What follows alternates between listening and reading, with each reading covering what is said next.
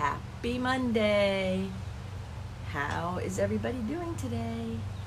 Here I am on the author page of Facebook, and we moved over here effective today, and we've posted that we're here, so I am joining you from this page. Now, I created the Dianne A. Allen author Facebook page because, you know, I have a lot of books out and I continue to write, and I think being an author is part of my core. You know, my maternal grandmother was an award winning author in a time when women didn't even write. She had to write under a pen name because of the, the position of her husband and her family. And, and I've always heard this story and never really connected to how that's really part of my own energy until um, later, you know, I was in my 30s, I guess. My mom um, was a lover of words. In fact, the very first book really that I ever read my, on my own or tried to read on my own was a dictionary. And my favorite books in elementary school and junior high school was the encyclopedia because the encyclopedia and the um, dictionary and things like that taught me words. I love words. And my mother used to always teach me to never use a word I do not know the definition of. Never. So the author page is important to me because we are paying attention to our words. What words do we use? What words do we um, say, think, and express? So that's what this page is about. It's about words. So today is Monday. It's my favorite day of the week. I always wake up on Monday with great anticipation, great amazingness inside, and a focus on what wonderful thing can I create and bring into the world on this day. And while so many people are lamenting that it's Monday, or not liking Monday, or resisting Monday, we could call it any day if we wanted to. There will always be somebody out there who's going to say, oh, gross, it's a bad day. I can't believe I have to work. Well, what I say is, I get to. I am so excited that I get to do the great, amazing things I do in my life. So I love Monday because I spent all weekend, as you guys know, in Dianne Appreciation Weekend, and I hope you did the same because I invited you to do it with me. And I did creative things, and I enjoyed myself, and I spent very minimal time on my computer, and really, and didn't do any work other than some mental kind of ponderings, maybe, and um, that kind of thing. But I really didn't. I didn't do any work. And so I woke up this morning with this really interesting feeling in my energetic field. And what that tells me is that as an empath, I'm picking up on something, something's going on. There's a shift, there's a shift happening. Years ago, when I would have this feeling, uh, before I was aware that it was connected to me being an empath, that, um, and I feel everything, I was like, whoa, what is all this stuff? And I used to think there was something wrong with me, but now I, I know better, you know, and I, I know I'm picking up on things in the, in the world and somebody just a little while ago said, "Well, you think it's the weather? You know, you're having bad weather soon." I said, "No, no. It's when I my energetic is picking up on out in the in the existential energy of the world is more than weather. So I have a choice. My choice is breathe into it and get into it and suck myself into it, which is not the highest choice, by the way. But my ego wants to go like a cat. Ooh, let me see what it is. Let me investigate. Let me do this. Let me do that. Let me go massage it and turn it all around and make it a thing. But that's not how you handle it. Your ego is not your amigo. It's wrong. The way you deal with it or the way you approach feeling things is you take a couple deep, long breaths and you shake it off, and then you say, How can I raise my vibration? Yes, because only in raising your vibration are you of any benefit in this planet. So, all of us who are growing personally, spiritually, emotionally, mentally, all of us who are on a growth path, some days we're great at it, some days we're not so great at it. That's not my point. all of us on a growth path. It's time to take the high road. It is. The high road meaning breathing and releasing and blessing whatever this energy is I'm feeling. I still feel it. I can feel it right down through um, my high heart, into my chest, into my, uh, not quite to my diaphragm. And so what that's telling me is that there's a lot of existential grief or some kind of pain or something. And I wouldn't be surprised if somebody I love and care about is really suffering this morning, something like that. So instead of getting in it and then taking away my light and my ability to help heal and help bring something better forward, my only responsibility is breathe, let the energy keep flowing so that whatever is happening can be healed itself, right? If I hold on to it, I stop its healing. And then to focus on the light. It's that simple. Now, is it easy all the time? No, not easy. Because it's persistent. I've been up since 5 o'clock. I have gone on a two mile walk. I have eaten a healthy breakfast. I have talked to some people. I have put together some things to mail because I have to go to the post office later. I have prepared for multiple meetings today. Let me see what else have I done. Besides taking a shower and everything else, I've done a lot already, and the energy's still there. So what that tells me is there's something going on in the ethers, in the energies that I'm picking up on. It is not mine and I don't get to claim it as mine, and I would be in error if I tried to assign it to me because it's not mine. I'm just feeling it and noticing it. So my responsibility in feeling and noticing it is raise my vibration. Only light gets rid of the darkness. Only light gets rid of the darkness.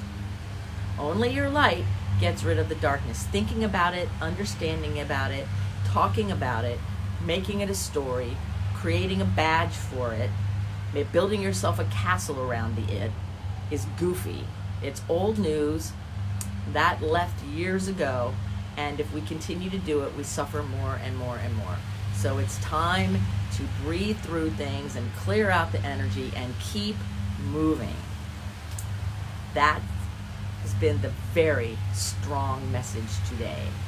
And on my walk, as I was thinking about standing in my light and like my shoulders back and standing in my light and letting my light vibration rise and breathing in goodness and sharing light to wherever this is going on around me as I was doing that an armadillo walked right in front of me and Maggie. Now I have not yet seen an armadillo here though I have seen their little holes in the ground. But that was the first one I ever saw here and I was like, oh my gosh, look at armadillo. And what do armadillos do, right? they roll up when and play dead and hide, you know, when they're they're afraid. And so he reminded me to um, that I could roll up and hide. That's a choice. Or I could breathe my light. That would be a choice. Or I could be like the ducks and I could squawk myself silly. That's the choice. That could be a choice. I could be like this gusty wind and blow away the goofy stuff. That's a choice. I have tons of choices. I might use them all today. Who knows? Um, it's going to be an interesting day for me because I have one appointment after the other with only a few breaks until I think my last appointment ends at like 10. And so it's going to be a nice, interesting, fun day. I get to have cool meetings with other um, spiritually based wellness people. I get to have meetings with um, a standing appointment that I have with one of my really good colleague friends today at lunchtime. So I always look forward to that. I have a few clients to see. I have other things to create. And my new website's almost done. You guys are going to love it. It's so good.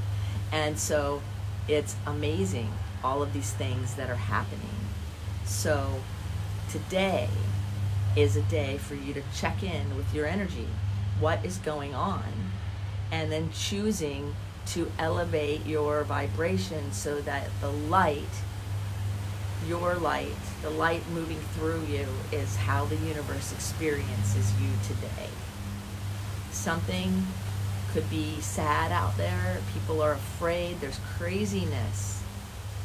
Craziness. great Monday morning for Dianne Allen. hey, Jeff. oh, I love him. He's my neighbor. He's Judy's husband. They're the coolest people. They live next door. he's been saying he's been trying to walk by and say that, in the middle of my live for a few weeks now. So he's probably feeling really excited, and that elevated his light and it brought a chuckle to me. So it elevated mine. So today it's Monday, and it's time for us to really do that, right? So we did appreciation weekend for ourselves all weekend. And I hope you followed with me and did it because I did. Now, I have a little bit of a challenge for us coming for this week, Monday through Friday this week, starting today. And that is Appreciation Week. So it's still the AW, but for other people. So here are examples to show appreciation at least once every day for another person. First of all, choose somebody you don't typically show appreciation toward. That you think it, but you don't necessarily show it. Don't take the easy the easy road out. The you know, well, I'll just say a prayer. No, tangible, human to human appreciation. And a really good example of that, if you know anyone who owns their own business, right now it's really important to offer them support. And obviously, if they're closed or they, you can't get a gift certificate, you can't go buy something. But you could go on Facebook and write a recommendation, or you could go on Google or Yelp and write a really nice recommendation. Or you could go on LinkedIn if you're on LinkedIn and you could find people that you believe in what they're doing and you can write a recommendation for them on LinkedIn. Because on LinkedIn, it's the only platform it can't be faked, right? Um, you could do something like that you could post something really nice about that other person publicly so that other people see what you feel about that person. You could do a YouTube video reviewing somebody's book or, or work somebody's doing so that there's video content on your YouTube channel that you hashtag them in. You could do all those kinds of social media things since we're all locked in our house, like on Instagram or Pinterest or whatever. You could do that. That's a way to show appreciation you could write a snail mail card and mail it to somebody that's not expecting it. In fact, I just got I should should have brought it out here. I just got an envelope in the mail from somebody who sends me snail mail here and there and it had these two papers folded in there and I opened them up and they were adult coloring books. And so one was like an elephant and one was something else and they had cuss words on them. Like I can't remember what it said now. I'm like cracking up like, "Oh my god." And they, he in the card, he wrote a beautiful card to me and then put some other little things in there that he knew I would appreciate. So it meant a lot to me that he thought of me, wrote a card, and mailed it. That's, you know, we all probably have a stamp around. We can do that, right? So there's something we can do every day for others. Now, here's the key do it with love and kindness and generosity in your heart. Do it with generosity in your heart. Because the spiritual law of the universe is everything you put out, you put get back times 10. Everything you put out in the world, you get back times 10, except Lionsgate, that's in September, we're good for now. So everything you put out, you get back times 10. So, what are you going to put out knowing that when your heart is pure, you have to have a pure heart for that rule to work, right? For that law to take effect. Every time you give out something, you get it back times 10. So, what are you going to do? To do something kind and generous for another person, to raise up their and appreciate them by raising your vibration and supporting their vibration. What are you going to do? I know what I'm going to do. I already have thought about it. The way I decide, I'm going to decide each day this week. But the way I'm going to decide it is when I get up in the morning, I'm going to feel what I'm led to do. Along with this, I do an hour a week of what I call spiritual tithing.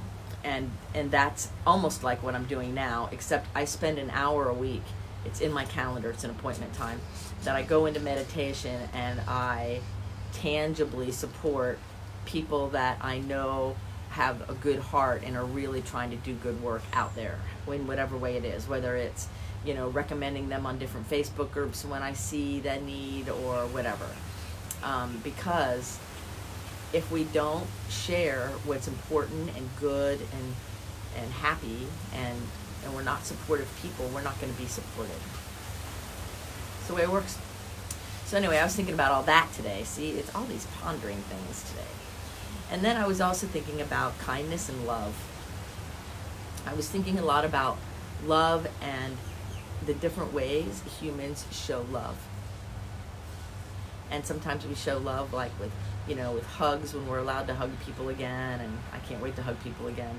Um, and we can show love by hanging out together on the zoom and having tea or hanging out with me on my porch. You know i show love by doing these lives every day right? It's a commitment that i've made in a way to bring more love and light to the world. So i pray i pray i pray that it's serving in that way for you guys. And I show love by my writing and by how much I love my dog, right? So, what are you doing to show love in the world? Really? Really? That's tangible, that is real for you, and that is pure without any undisclosed motive. Check your motives, right? So, those are my ponderings. I think my voice is probably sounds a little quieter, mostly because I meditated, but also because it's about to rain again. And I, I hope it rains a lot because we're down five inches in rain just in 2020. And we need rain. So, anyway, this author page is where you will find all of the posts about my amazing video podcast, my Someone Gets Me podcast, and all the different interviews I do and other ponderings I talk about. It is also where I will be putting more and more of my own content versus my personal page because, like I said yesterday, I'm tired of getting stalked. So, there you have it. I love you guys so much. I want you to have a joyful, wonderful, happy Monday. Be grateful that the rain and the wind are cleansing Mother Earth, they're cleansing the atmosphere and allow yourselves to feel cleansed and lightened from the inside out. And then be on purpose today with tangibly demonstrating appreciation and care for another human being that's not expecting it. And I'm not talking about a random act of, kindness to some random person holding a door and smiling. That's nice. That's not what I'm talking about. I'm talking about a focused act of appreciation for someone who has touched your life at some point in it, which there's many. So go out there and be real and authentic about it. And the more you do that, the good things will keep coming your way. I'm sure of it. Positive of it. Think about the chrysalis. That little caterpillar has to go all the way down to liquid before the imaginal cells will start creating that magical butterfly. So if you were in the chrysalis, what needs to be liquefied so that the new is pure and whole and clean. And that is your message for today from my porch. Thank you from my heart to your heart for hanging out with me. Thank you for finding me over here.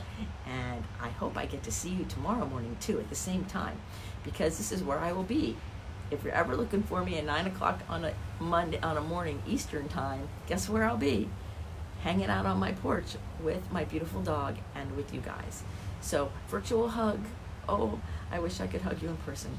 I'll see you tomorrow. Bye.